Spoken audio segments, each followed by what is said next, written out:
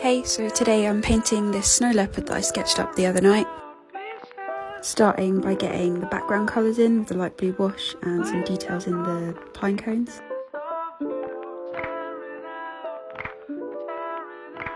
Building that up with darker tones.